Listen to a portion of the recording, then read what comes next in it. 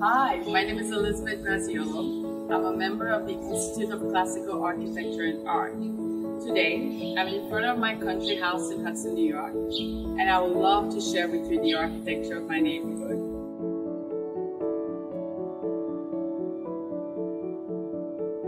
I fell in love with Hudson after visiting a friend who was renting a house here one summer.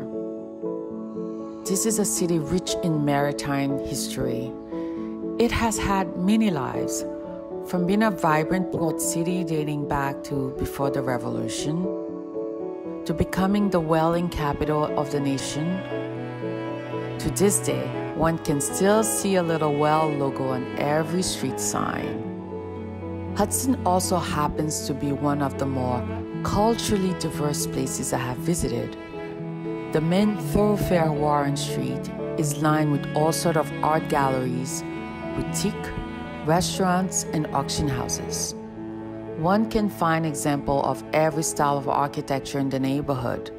Italianate like my little house, Victorian, Federal, Greek Revival, and Queen Anne.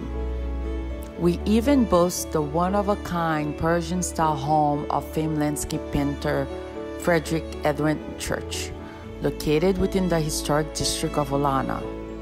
He modeled a stone, brick, and polychrome stencil villa after architecture he and his wife saw on a trip to the Middle East.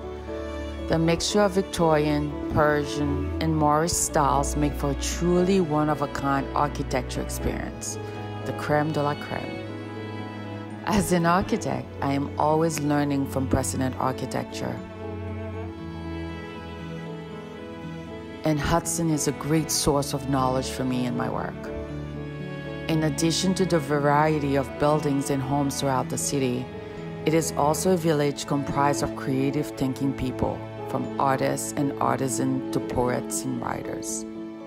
You can walk one block in any direction and find a wealth of material to draw upon when looking for inspiration.